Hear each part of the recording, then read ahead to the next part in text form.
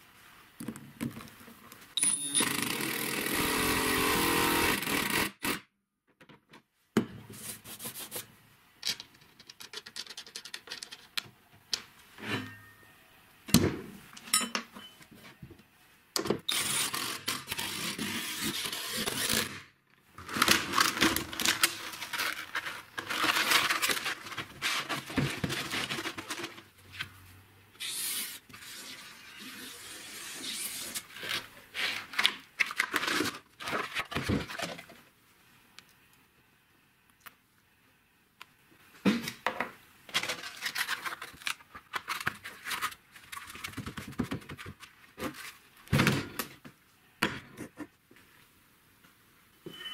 mm -hmm. you.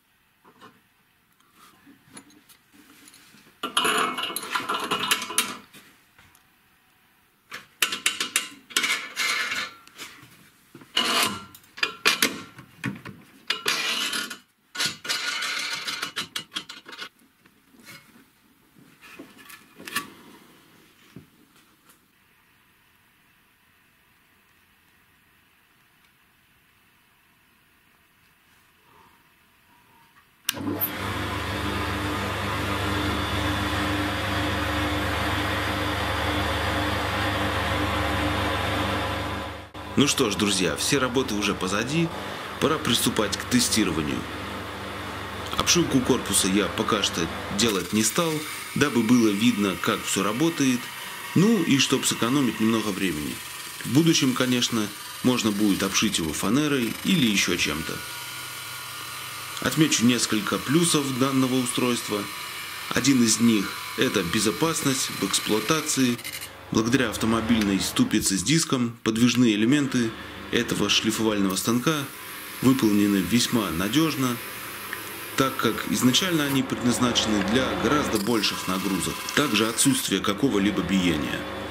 Ну и сами наждачные диски можно заготовить разной зернистости и при необходимости очень быстро сменить. Для этого нужно выкрутить всего 6 болтиков и установить новый диск. Лично я работой и функционалом станка доволен. Ну, разве что можно будет добавить оборотов методом увеличения диаметра шкива на двигателе. А в целом самоделка получилась вполне годная.